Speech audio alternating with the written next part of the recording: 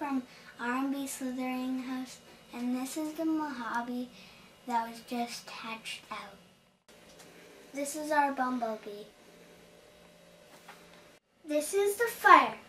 We are going to be producing fireflies. This is the cinnamon that just hatched out. Look at it.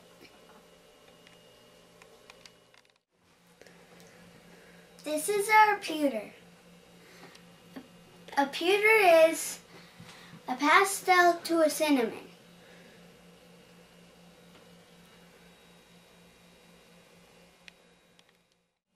This is the piebald and he was produced by Marcus Jane.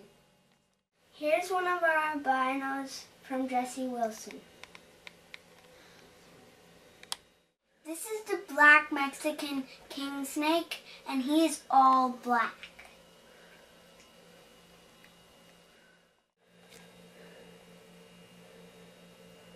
Here's our genetic stripe. He was produced by Corey Woods. This is our butter. He bred great for us this season.